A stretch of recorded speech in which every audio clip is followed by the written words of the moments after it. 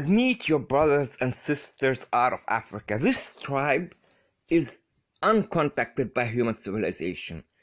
And I'll tell you why they don't want contact to us. Because if, you know, a lot of people don't understand that flus, diseases are caused by us, the white people. These people are on this. This is not the only tribe which is untouched by society. There are much more. There are people in the Philippines and Indonesia who look like Indonesian people, but they are not white. They're all black. Why? Because they're untouched by society. Would we contact? Why? Are, why are they so violent against us? Because they're sixty thousand years old.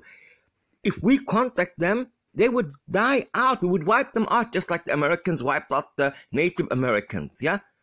And I'm going to tell you something which is going to shock you. Yeah. Because it's not long ago where a huge tsunami killed hundreds of thousands of people. Hundreds of thousands of people. This tsunami should have wiped them out, yeah?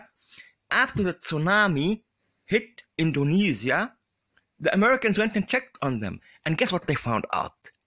Here, hundreds of thousands of people died. By them, not one person died because they understand nature. They live 60,000, 70,000 years on the planet. They can survive. They survived the tsunami. But modern society did not.